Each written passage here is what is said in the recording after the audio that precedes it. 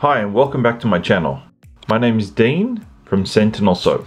In today's project I'm going to be making some cold process soap. The fragrance that I'm going to be using is pomegranate and mango.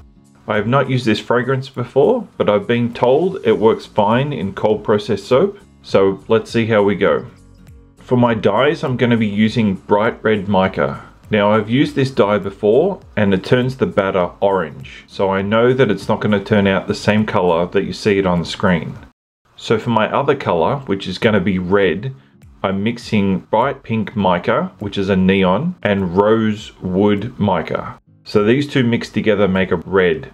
So as soon as I added my fragrance, this accelerated, but it was still within acceptable limits of being able to move the batter around and shape it. But this was okay. It was still flexible. There was a lot of scraping going along. It was very sticky, almost like uh, toothpaste, and it got very hot very quickly.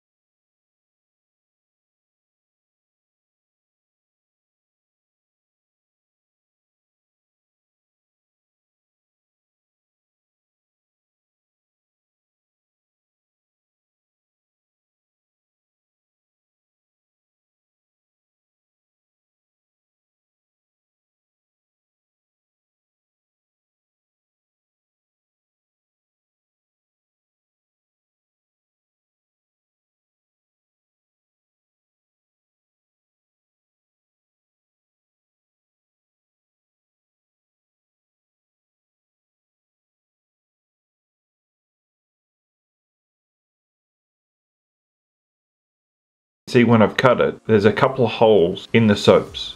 Now what I did to fix these was, so there's a little bit at each end that I cut off and because the soap is still pliable, I've just picked that off and put it into the hole and by the time that six weeks goes past, it's solid soap. So I'm really happy with the way this turned out. I did not think that it would be this difficult because I've been told by a number of people that they've used this fragrance and they've had no problems, but I'm still very happy with the results. So if you like this video, please give me a thumbs up, make sure you subscribe to my channel, and thanks for watching.